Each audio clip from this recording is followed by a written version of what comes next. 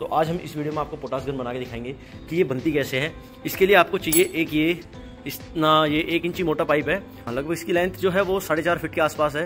तो ये आप अपने हिसाब से ले सकते हो, अपनी हाइट के हिसाब से इसको, इसकी लेंथ ले सकते हो। और साथ ही साथ हमारे पास एक छः इंची का ये छः इंची लंबा जो आपके पास ये पाइप का टुकड़ा है, ये भी एक इंची मोटा है। तो ये क्या होगा, ये इसके ऊपर लगेगा यहाँ पे। और ये आपको ये सरिया चाहिए। ये सरिया की जो लेंथ है ना, आपकी इसकी सरिया की लेंथ इससे बड़ी होनी चाहिए। ये जो आपका पाइप है, इस सरिया की लेंथ जो है, इससे बड़ी होनी चाहिए। ये देखो, हमारी जो इसकी लेंथ है, इससे बड़ी है। तो ये पाँच सूत का सरिया है और इसी के साथ साथ दो चाहिए आपको वासर ये वार्सल जो होते हैं, सिंपल जो है, ये एक इसके हेड पे लगेगा और एक जो है, इसके अंदर लग जाएगा। तो अभी मैं वीडियो में दिखाता हूँ, पूरी वीडियो में, कि कैसे कैसे लगेगा। और फिर गाइज़ जो ये हमारा जो सरिया है, इसको नीचे से कोई सा भी, इसका एक पार्ट जो है, नीचे से हल्का सा गोल कर लेंगे। मतलब ये जो कॉर्नर है, ये वाले कॉर्नर ये जो आपको कॉर्नर दिखाई दे रहे हैं, इनको गोल कर लेंगे ताकि ये नीचे जो है, उसमें हिट अच्छे से कर सके। तो गाइज़ सबसे पहले इस पाइप को जो है हम नीचे से काट लेंगे। नीचे से जो काटना है, इसको ऐसे टिल्ट कंडीशन में काटना है मतलब टिल्ट शेप में काटना है, ताकि ये नीचे से ऐसे मुड़ सके। तो अभी हम इसको काटते हैं, फिर दिखाते हैं आगे। तो भाई, ये हमारी यहाँ से कट चुकी है तो अब हमें कराना क्या है? हम सिंपली ये जो टुकड़ा पार्ट जो हमारा कटा है, इसको हमें यहाँ वेल्डिंग पे कराना है। जैसे यहाँ वेल्ड हो जाएगा तो हमारी नाल का एक पार्ट तैयार हो जाएगा। तो अब इसको यहाँ वेल्ड कराएँगे।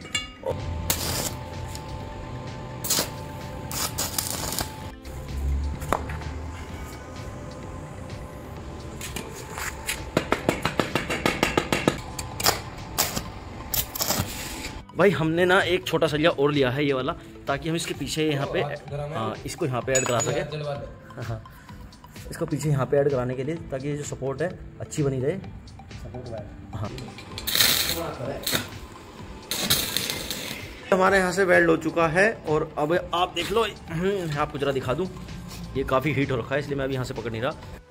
तो ये वेल्डिंग इतनी हैवी है कि ये बिल्कुल भी नहीं टूटेगा? और जो हमें वेल्डिंग जो करानी है, अब हम वेल्ड कराएँगे इन वाशर को।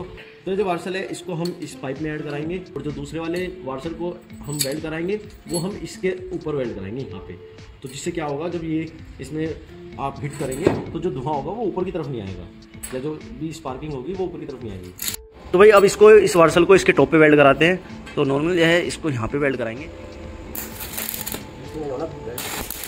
भाई, अब हम ये वाला वाशर जो है, ऊपर की तरफ़ इसमें ऐड करा रहे हैं। इस सरिये पे।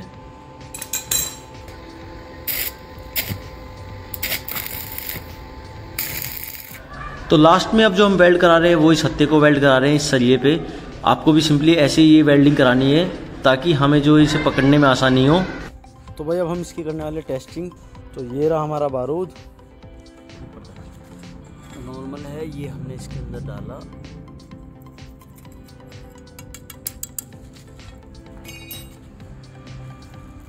नीचे मार पहले चल।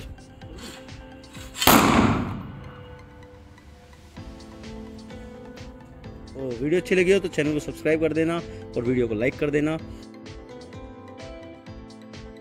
तो आप कमेंट करके बताइए कि मैं आपके लिए क्या क्या वीडियो लेके आऊँ।